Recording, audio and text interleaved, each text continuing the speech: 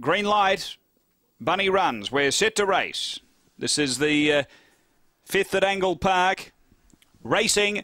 Uh, good speed here, Suntory Gold initially, but multiply by four and Mr. Leonardo out quicker. They go to the first bend and multiply by four, stayed up the track a bit but held the lead. Out by two over Suntory Gold and a half back Sydney Shadow. Uh, next is Mr. Leonardo from Vinsato. A gap away is Omar Bale. Redeeming and Maysoon Khan. The leader is multiply by four, but Suntory Gold's railing through well. Then Sydney Shadow. Suntory Gold took the lead. Sydney Shadow storming home, but Suntory Gold. Suntory Gold holds Sydney Shadow. Uh, third multiply by four, then Omar Bale.